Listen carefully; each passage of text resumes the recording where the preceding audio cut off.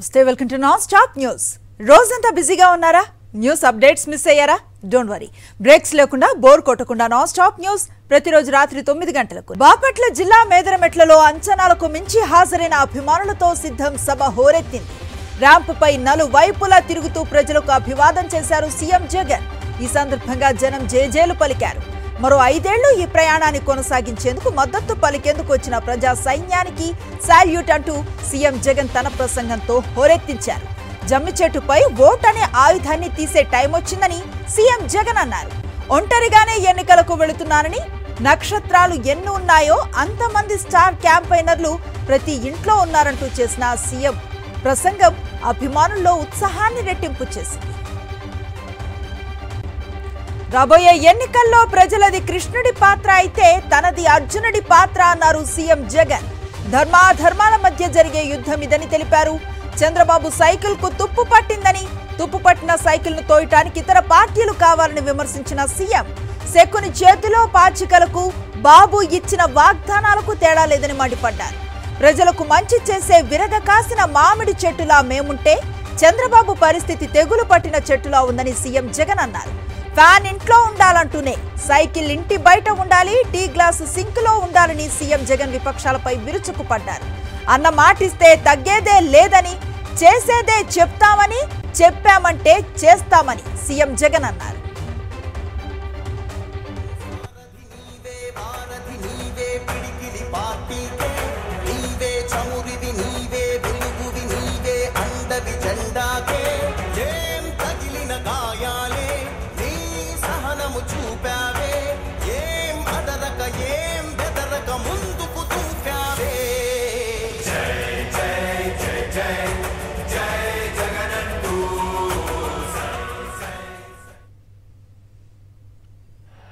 ఎన్నికల కురుక్షేత్రంలో ధర్మ అధర్మాల మధ్య జరిగే ఈ యుద్ధంలో విశ్వసనీయతకు వంచనకు మధ్య జరగబోయే ఈ యుద్ధంలో శ్రీకృష్ణుడి పాత్ర మీది. ప్రజలందరిది. అర్జునుడి పాత్ర అర్జునుడి పాత్ర. మీ బిడ్డది మీ అన్నది మీ తమ్ముడిది. చంద్రబాబు నాయుడు గారి సైకిల్ పరిస్థితి ఏమిటి అని గమనిస్తే చంద్రబాబు సైకిల్కు ట్యూబులు లేవు. చంద్రబాబు సైకిల్కు టైర్లు లేవు. చంద్రబాబు సైకిల్కు చక్రాలే లేవు. చంద్రబాబు సైకిల్ తుప్పు పట్టిన పరిస్థితిలో ఈ రోజు ఉంది. ఆ తుప్పు పట్టిన సైకిల్ను తొక్కటానికి ఆ తుప్పు పట్టిన సైకిల్ను తోయటానికి ఇవాళ చంద్రబాబు నాయుడు గారికి వేరే పార్టీలు కావాలి. ఇది చంద్రబాబు నాయుడు గారి జాబ్ రిక్వైర్మెంట్. ఎందుకంటే బాబు పేరు చెబితే గుర్తుకొచ్చే ఒక్క మంచి కూడా ప్రజల నోట్లో నుంచి వినపడదు. చంద్రబాబు పేరు చెబితే గుర్తుకొచ్చే ఒక్క స్కీము కూడా ప్రజల నోట్లో నుంచి వినపడదు కనిపించదు. అన్ని రకాల మేనిఫెస్టోలన్నీ అన్ని వాళ్ళ వాళ్ళ హామీలన్నీ కలిపి ఒక కిచిడి మేనిఫెస్టో తీసుకొచ్చాడు. ఆ కిచిడి మేనిఫెస్టో తీసుకొచ్చిన ఈ చంద్రబాబు అందులో భాగంగా వాళ్ళు చూపించే గ్రాఫిక్స్ అందులో భాగంగా వాళ్ళు నడిపించే ఎల్లో డిబేట్లు ఎల్లో మీడియా డిబేట్లు వారు చేసే ప్రచారాలు. ఆలోచన చేయమని అడుగుతా ఉన్నాను. ఇదే పెద్ద మనిషి చంద్రబాబు నాయుడు గారు చేసే వాగ్దానాలకు శకుని చేతిలో పాచికలకు తేడా ఏమైనా ఉందా అని ఆలోచన చేయమని అడుగుతా ఉన్నా మిమ్మల్ని అందరినీ కూడా. జగన్ వల్ల మంచి జరగకపోయిందంటే ప్రతి ఇంటికి జగన్ గన తన మేనిఫెస్టోలో చెప్పిందంతా కూడా తాను చేయకపోయిందంటే.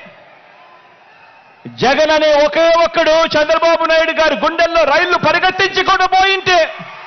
చంద్రబాబు నాయుడు గారు ఇన్ని పొత్తుల కోసం ఎందుకు పాకులాడుతా ఉన్నాడు? ఈ రోజున మన పార్టీ మన ప్రభుత్వం నిండుగా విరగ కాసిన మామిడి చెట్టులా మనముంటే చంద్రబాబు నాయుడు గారి పార్టీ అందరినీ కూడా మోసం చేసి వెన్నుపోట్లు పొడిచి గత పాపాలకు ఫలితం అనుభవిస్తూ తెగులు పట్టిన చెట్టులా చంద్రబాబు నాయుడు గారి పరిస్థితి ఉంది. ఫ్యాన్ ఇంట్లోనే ఉండాలి. సైకిల్ ఇంటి బయటే ఉండాలి. తాగేసిన టీ గ్లాసు సింక్లోనే ఉండాలి అని ప్రతి ఇంటికి వెళ్ళి చెప్పండి. ప్రతి అక్కకు వెళ్ళి చెప్పండి. ప్రతి చెల్లెమ్మకు వెళ్ళి చెప్పండి. నాయకుడంటే ఒక మాట నోట్లో నుంచి వచ్చిన తర్వాత మరీ ముఖ్యంగా ఎన్నికల ప్రణాళిక అంటూ ఎన్నికల మేనిఫెస్టో అంటూ రిలీజ్ చేసిన తర్వాత ఇక కష్టమైనా కూడా నష్టమైనా కూడా మాట మీద నిలబడే కరోనా లాంటి కష్టాలు వచ్చినా మాట మీద నిలబడే నాయకుడంటే మాట ఇస్తే తగ్గేదే లేదు అని చెప్పే. మీ జగన్ లాంటి నాయకుడు కావాలా అని అడుగుతా ఉన్నా. ప్రతి కార్యకర్త వాలంటీర్ తన కుటుంబ సభ్యులే అన్నారు సీఎం జగన్. వారికి ఖచ్చితంగా మంచి జరుగుతుందని హామీ ఇచ్చారు. వారందరూ మరో రెండు మెట్లు ఎదిగేందుకు అవకాశాన్ని కల్పిస్తామన్నారు. ప్రతి కార్యకర్తకు అండగా ఉంటామన్నారు. మన పార్టీలో ఉన్న ప్రతి కార్యకర్త ప్రతి అభిమాని ప్రతి వాలంటీర్ అందరూ కూడా నా కుటుంబ సభ్యులే. వారికి ఖచ్చితంగా మంచి జరుగుతుంది. ఖచ్చితంగా మంచి జరిగిచ్చేందుకే మీ బిడ్డ ఉన్నాడు అని కూడా ఈ సందర్భంగా తెలియజేస్తా ఉన్నాను. వారు మరో రెండు మెట్లు ఎదిగేందుకు చరిత్రలో ఎప్పుడూ కూడా చూడని విధంగా నాయకుడంటే మాట ఇస్తే తగ్గేదే లేదు అని చెప్పే మీ జగన్ లాంటి నాయకుడు కావాలా అని అడుగుతా ఉన్నా. ఆలోచన చేయమని అడుగుతా ఉన్నా. టీడీపీ జనసేన బీజేపీ పొత్తుపై ఘాటు విమర్శలు చేశారు మంత్రి అంబటి రాంబాబు. సింగిల్గా వస్తే చితక బాదుతాం. ఇద్దరు వస్తే విసిరి కొడతాం. ముగ్గురుగా వస్తే సముద్రంలో కలిపేస్తామన్నారు. ఎంతమంది కలిసి వచ్చినా ఏమీ చేయలేరన్నారు. సింగిల్గా వస్తే చితక బాదుతాం ఇద్దరు వస్తే ఇసిరి కొడతాం. ముగ్గురు కలిసి వస్తే ఇసిరి సముద్రంలో ముంచేస్తాం. జాగ్రత్త అని మనం చేస్తున్నా. ఈ రాష్ట్రంలో ఏ నియోజకవర్గం వెళ్ళినా జగన్మోహన్ రెడ్డి కావాలనుకునేవారు యాభై పర్సెంట్ పైనున్నారు. ఎంత మంది కలిసి వచ్చినా ఏమీ చేయలేరని కూడా ఈ సందర్భంగా మనవి చేస్తున్నా. మెదరమెట్ల సిద్ధం సభలో ఒక డ్రోన్ కలకలం రేపింది. మంత్రి అంబటి ప్రసంగిస్తూ ఉండగా డ్రోన్ రావడంతో వైఎస్ఆర్సీపీ నేతలు పోలీసుల దృష్టికి తీసుకువెళ్ళారు. దీంతో స్టేజ్ పై ఉన్న మాజీ మంత్రి అనిల్ కుమార్ దీనిపై స్పందించారు. ఎక్కడో ఉండి డ్రోన్ను పంపటం కాదు లోకేష్కు దమ్ముంటే ఇక్కడికి రావాలంటూ సవాల్ విసిరారు. ఏ పప్పు ఎక్కడో ఉండి ఒక డ్రోన్ని పంపించి ఎక్కడో ఉన్న చిన్న చిన్న అవతలున్న ఖాళీ స్థలం చూపించి ఈ సభలో జనాలు లేరు ఖాళీ అని చెప్పి ఎక్కడో ఇంట్లో దాక్కోని ట్వీట్ పెట్టడం కదా నువ్వు అబ్బకి అమ్మకి పుట్టడం మగాడు అయితే బాన్సత్ రా ఇక్కడ! లక్షలాది మంది సాక్షులు సాక్షిగా తొక్కుతాం బిడ్డ ఇక్కడ! ఇక్కడున్న ప్రతి ఒక్క వైఎస్ఆర్ కాంగ్రెస్ పార్టీ సైనికుడు దాంట్లోనే ఎక్కడో చిన్నది డ్రోన్ పంపించడం కాదు బే. రా ఇక్కడికి శబ్దంతో చచ్చిపోతాం ఒక్కసారి ఇక్కడ అరిశారంటే శబ్దానికి చచ్చిపోతావు బిడ్డ. రేపు సీఎం వైఎస్ జగన్ వైఎస్ఆర్ జిల్లాలో పర్యటించనున్నారు. పులివెందులలో పలు అభివృద్ధి పనులను ప్రారంభించనున్నారు. ఉదయం తొమ్మిది గంటలకు తాడేపల్లి నివాసం నుండి బయలుదేరి పులివెందులకు చేరుకుంటారు. ముందుగా doctor YSR government general hospital banana integrated pack హౌస్ను ప్రారంభిస్తారు. ఆ తర్వాత డాక్టర్ వైఎస్ఆర్ మినీ సెక్రటరియేట్ కాంప్లెక్స్ను ప్రారంభిస్తారు. అక్కడే సెంట్రల్ బాల్ వార్డు ప్రారంభించిన తర్వాత వైఎస్ జయమ్మ షాపింగ్ కాంప్లెక్స్ అందుబాటులోకి తీసుకురానున్నారు. ఇక doctor YSR Ulimella lake front Aditya Birla యూనిట్కు ఫేజ్ వన్ ప్రారంభోత్సవంలో పాల్గొంటారు. ఆ తర్వాత ఇడుపుల పాయకు చేరుకుంటారు. అక్కడ వైఎస్ఆర్ మెమోరియల్ పార్క్ ప్రారంభోత్సవంలో సీఎం పాల్గొంటారు.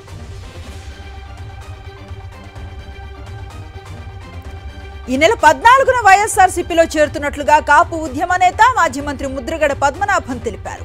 సీఎం జగన్ సమక్షంలో తాను తన కుమారుడు గిరి పార్టీలో చేరుతున్నట్లుగా ప్రకటించారాయన తాను ఎటువంటి పదవులను ఆశించడం లేదని భగవంతుడి దయ వల్ల మరోసారి జగన్ ముఖ్యమంత్రిగా గెలిస్తే ఆయన ఏ పదవిచ్చినా తీసుకునేందుకు సుముఖంగా ఉన్నట్లుగా తెలిపారు. వైఎస్ జగన్ తరపున ఎన్నికల ప్రచారంలో పాల్గొంటానని స్పష్టం చేశారు.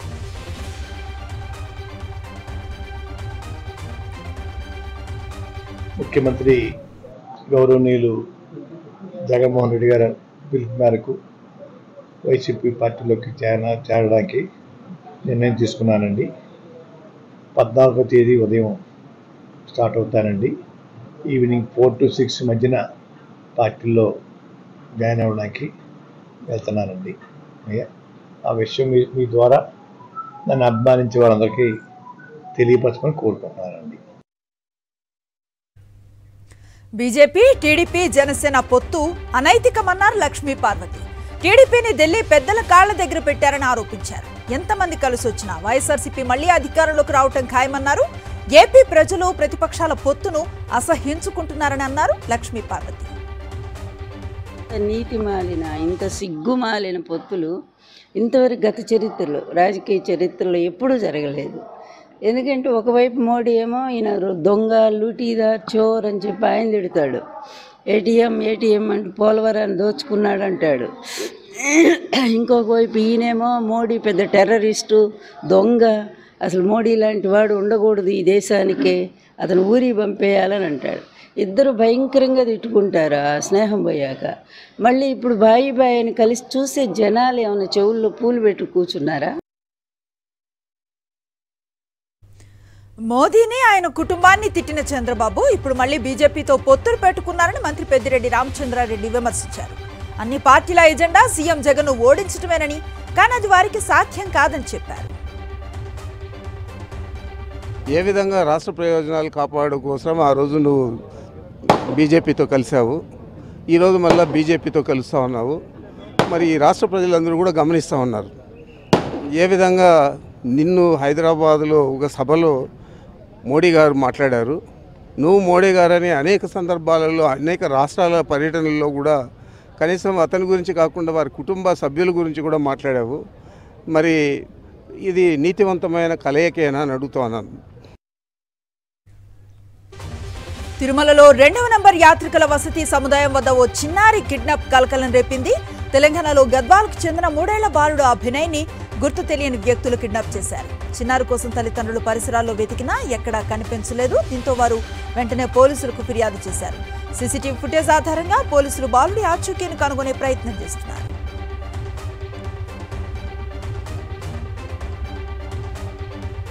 వచ్చే లోక్సభ ఎన్నికల్లో బీఆర్ఎస్ బీఎస్పీ పొత్తుపై సస్పెన్స్ వీడింది. ఈ పొత్తుకు బీఎస్పీ అధినేత్రి మాయావతి గ్రీన్ సిగ్నల్ ఇచ్చారని పార్టీ తెలంగాణ అధ్యక్షుడు ఆర్ఎస్ ప్రవీణ్ కుమార్ వెల్లడించారు. తెలంగాణ ప్రజలకు గొప్ప శుభవార్త అంటూ ఎక్స్ వేదికగా ఆయన స్పందించారు. బీఎస్పీ బీఆర్ఎస్ ల కూటమి చర్చలపై ఏర్పడిన సందిగ్ధతకి పార్టీ జాతీయ అధ్యక్షురాలు మాయావతి తెరదించారని ఆయన తెలిపారు. ప్రస్తుతం బీఆర్ఎస్ పార్టీ దేశంలో ఏ కూటమిలోనూ లేనందున వచ్చే పార్లమెంట్ ఎన్నికల్లో తెలంగాణలో కలిసి పనిచేయటానికి అనుమతించారని వివరించారు. ఈ మేరకు బీఎస్పీ హైకమాండ్ సమాచారం అందించిందని చెప్పారు. పొత్తు విషయంలో త్వరలోనే కేసీఆర్ సమక్షంలో తదుపరి చర్చలు జరపనున్నట్లుగా తెలిపారు.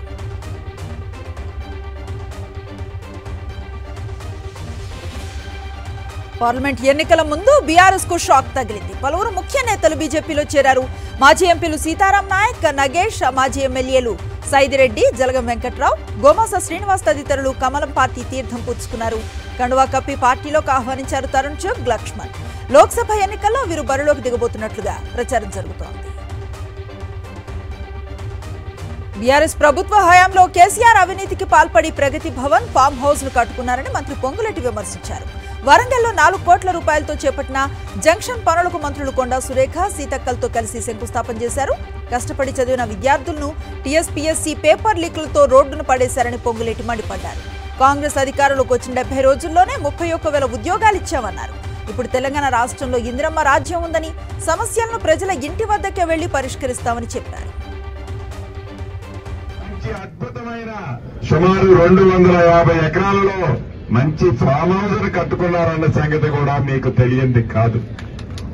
అంతేకాదు పేదవాడి కష్టాన్ని పూర్తిగా విస్మరించి ఆనాడు ఉద్యమ కాలంలో ప్రతి ఇంటికి ఉద్యోగాన్ని ఇస్తానన్న పెద్ద మనిషి నిరుద్యోగులకి నిరాశ మిగిల్చిన ప్రబుద్ధుడు ఆనాటి ముఖ్యమంత్రి కల్వకుంట్ల చంద్రశేఖరరావు గారు. విజయనగరం జిల్లా కొత్తవలస రైల్వే స్టేషన్లో ప్యాసింజర్ ట్రైన్ పట్టాలు తప్పింది. విజయవాడ రాయగఢ్ ప్యాసింజర్ రైల్ ఐదవ నెంబర్ ప్లాట్ఫామ్ నుంచి ఒకటో నెంబర్ లైన్కు పట్టాలు మారుతూ ఉండగా ఈ ప్రమాదం జరిగింది. అయితే లోకో పైలట్ అప్రమత్తం కావడంతో ఎలాంటి ప్రాణ నష్టం జరగలేదు.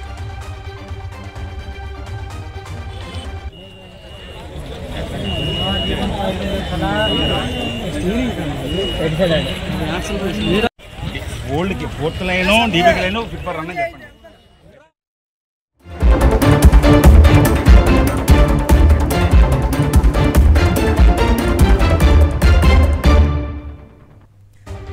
ఆంధ్రప్రదేశ్లో అభివృద్ధి జరుగుతున్న కొద్దీ ఇండియా కూటమి బలహీనపడుతోందని ప్రధాని మోదీ ఘాటుగా విమర్శించారు. తనకు కుటుంబం లేదంటున్నారని కానీ దేశంలో నూట నలభై కోట్ల మంది ప్రజలు మోదీకా పరివార్ అని వారు మరిచిపోయారని చురకలంటించారు ఉత్తరప్రదేశ్లో పర్యటించిన ప్రధాని నరేంద్ర మోదీ ముప్పై నాలుగు వేల కోట్ల విలువైన అభివృద్ధి ప్రాజెక్టులకు ప్రారంభోత్సవాలు శంకుస్థాపనలు చేశారు. అజంగఢ్లో తాము చేస్తున్న అభివృద్ధి ఓట్ బ్యాంక్పై ఆధారపడి ఇండియా కూటమికి నిద్ర లేకుండా చేస్తోందని ప్రధాని మోదీ అన్నారు. ఏడేళ్లలోనే సీఎం యోగి ఆదిత్యనాథ్ నాయకత్వంలో రాష్ట్రం బాగా అభివృద్ధి చెందిందని తెలిపారు అజంగఢ్ ఒకప్పుడు వెనుకబడిన ప్రాంతమని ఇప్పుడు అభివృద్ధిలో దేశంలోనే కొత్త అధ్యాయాన్ని లిఖిస్తోందన్నారు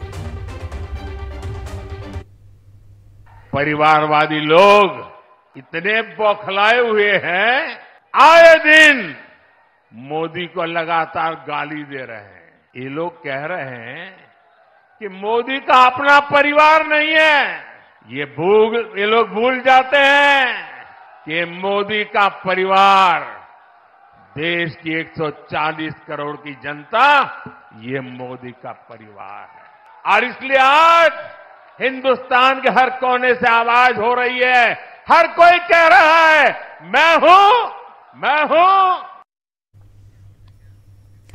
ఏపీలో జరుగుతున్న సిద్ధం సభలు ట్రెండ్ ను సెట్ చేస్తున్నాయి దేశంలో అనేక పార్టీలు సీఎం జగన్ ను ఫాలో అవుతున్నాయి సేమ్ సిద్ధం సభల తరహాలోనే పబ్లిక్ మీటింగ్స్కు ప్లాన్ చేస్తున్నాయి.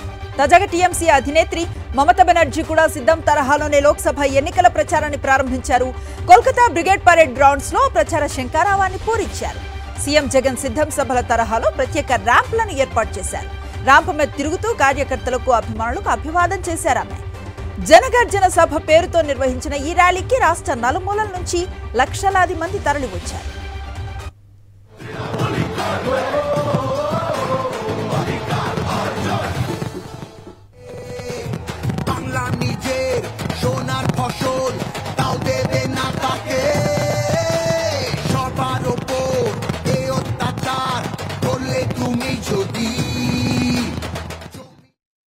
మరోవైపు మమతా బెనర్జీ తమ పార్టీ ఎంపీ అభ్యర్థులను ప్రకటించారు. మొత్తం నలభై రెండు లోక్సభ స్థానాలకు ఆమె అభ్యర్థులను ప్రకటించారు.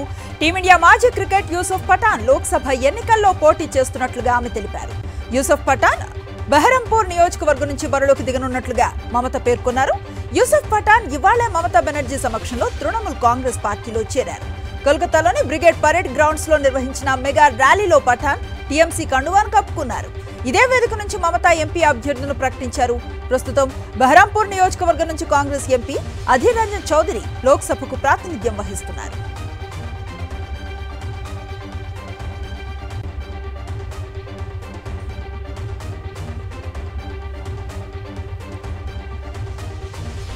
ఎన్నికల కమిషనర్ అరుణ్ గోయల్ ఆకస్మిక రాజీనామాపై రాజ్యసభ ఎంపీ ప్రముఖ న్యాయవాది కపిల్ సిబాల్ కీలక వ్యాఖ్యలు చేశారు.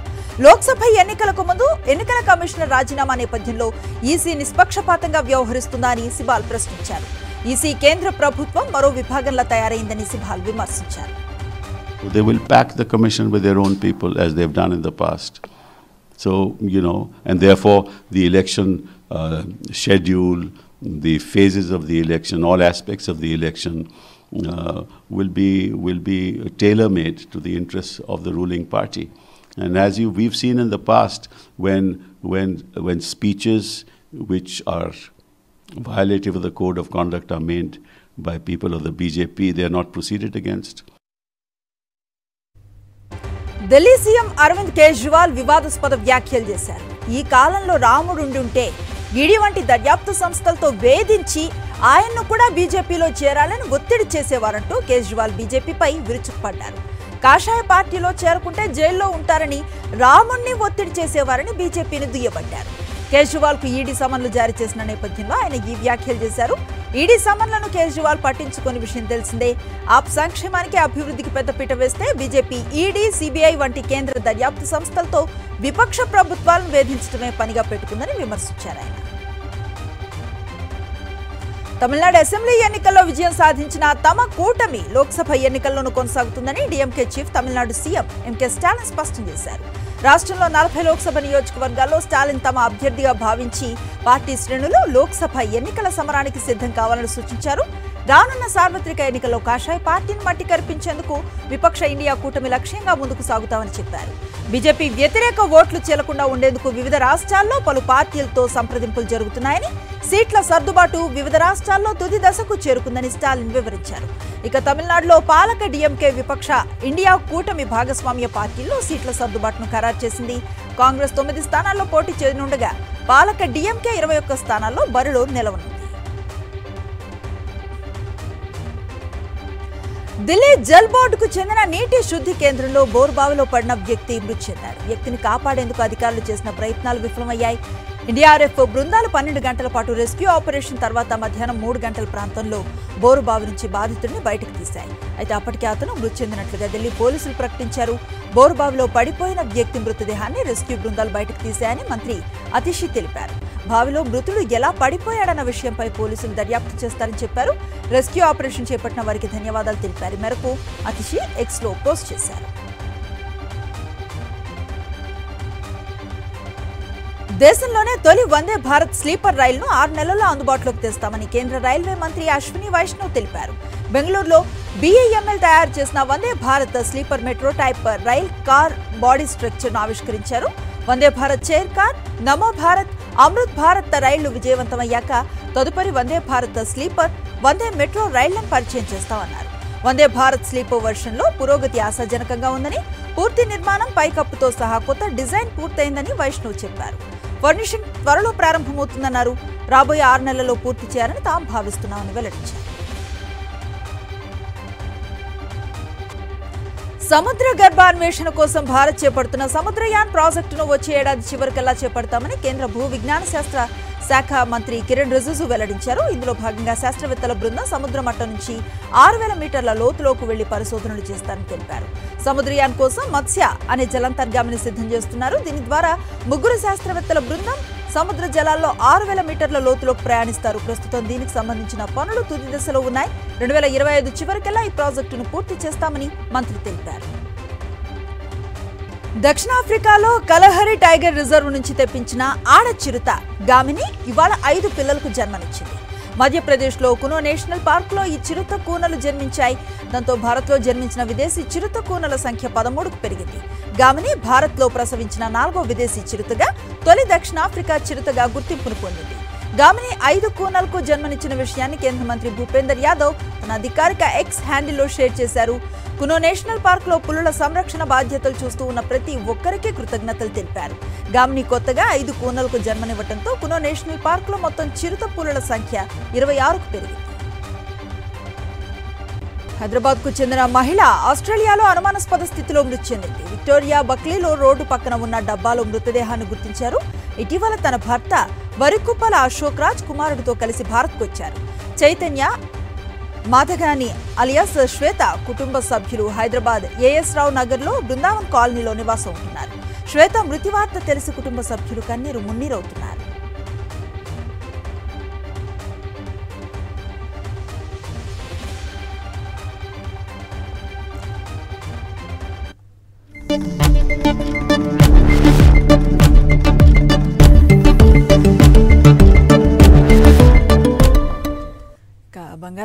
విషయానికి వస్తే హైదరాబాద్లో ఇరవై నాలుగు క్యారెట్ల బంగారం ధర అరవై ఆరు వేల రెండు వందల డెబ్బై రూపాయలుగా ఉంది. ఇరవై రెండు క్యారెట్ల బంగారం ధర అరవై వేల ఏడు వందల యాభై రూపాయలుగా ఉంది. ఇక చెన్నైలో ఇరవై రెండు క్యారెట్ల బంగారం ధర అరవై ఒక్క వేల ఐదు వందల రూపాయలుగా ఉండగా ఇరవై నాలుగు క్యారెట్ల బంగారం ధర అరవై ఏడు వేల వంద రూపాయలుగా ఉంది. ఇక విజయవాడలో ఇరవై రెండు క్యారెట్ల బంగారం ధర అరవై వేల ఏడు వందల యాభై రూపాయలు కాగా ఇరవై నాలుగు క్యారెట్ల బంగారం ధర అరవై ఆరు వేల రెండు వందల డెబ్బై రూపాయలుగా ఉంది. ఇక ముంబైలో ఇరవై రెండు క్యారెట్ల బంగారం ధర అరవై వేల ఏడు వందల యాభై రూపాయలు కాగా ఇరవై నాలుగు క్యారెట్ల బంగారం ధర అరవై ఆరు వేల రెండు వందల డెబ్బై రూపాయలుగా ఉంది. కేజీ వెండి ధర డెబ్బై తొమ్మిది వేల వంద రూపాయలుగా ఉంది.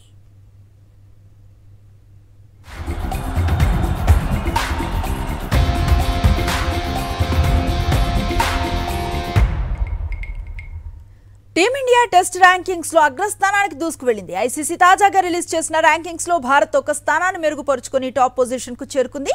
స్వదేశంలో ఇంగ్లాండ్తో జరిగిన సిరీస్లో నాలుగు ఒకటి తేడాతో నెగ్గటం వల్ల భారత్ ఆస్ట్రేలియాను అధిగమించింది. ప్రస్తుతం భారత్ నూట ఇరవై రెండు రేటింగ్స్తో టాప్లో ఉండగా ఆసిస్ నూట పదిహేడు రేటింగ్స్తో రెండవ పొజిషన్లో ఉంది. ఇక వన్ డే టీ ట్వంటీలో కూడా టీమిండియాదే అగ్రస్థానం. ప్రపంచ టెస్ట్ ఛాంపియన్షిప్లోనూ భారత్ అగ్రస్థానంలో ఉంది.